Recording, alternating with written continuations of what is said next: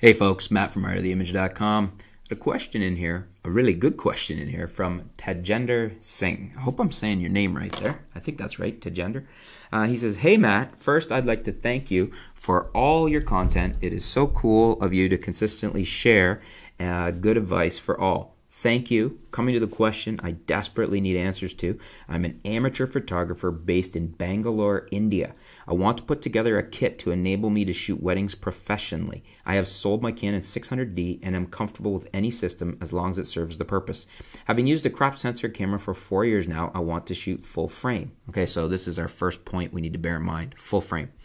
Uh, also, being able to take some 120 fr- uh, frames per second videos for the weddings I cover would make it a good package that I offer. My budget is 3500 in total for camera lenses and a couple of speed lights and stands. Reliable used gear is not as easily available here in India, so looking to buy all new. Rumors about the Canon 6D Mark II have made it difficult to buy right away, as that would fit perfectly in my budget, leaving room for some glass. On the other hand, I also feel like I'm just uh, thinking about gear, wasting my time when I should actually be out shooting. Well, that's a good point, too. Any guidance would give me some much needed perspective. Thanks in advance. Okay, well, thanks very much for your question Tejender. And, um, I like your first thought, to be honest with you. I mean, if you want to go full frame, uh, you're comfortable with the Canon system. That is a great system, and it does good video as well. And a lot of people have preferred the 6D over the 5D3 when those two were, you know, out, out at, the t- at the same time. People have also stayed with their 6D and not gone to the 5D4 because of some of its limitations in video.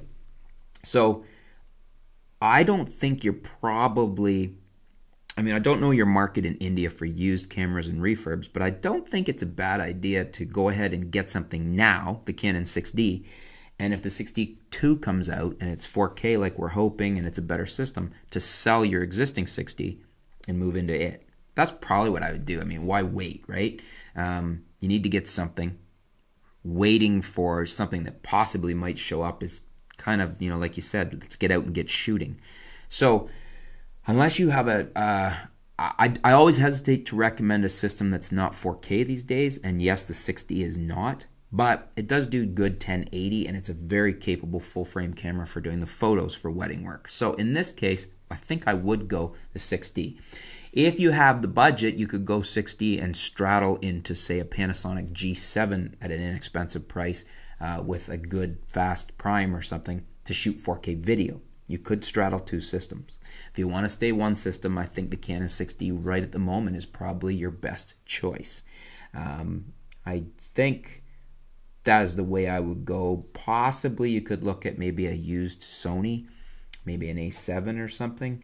Uh, maybe an A7 II, but then I think maybe you're getting out of your comfort level for budget range.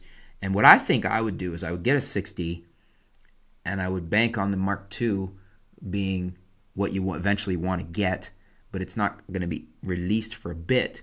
Uh, so shoot with the 6D now, sell your 6D when the Mark II comes out and upgrade. That's the route I think I would go in your specific situation.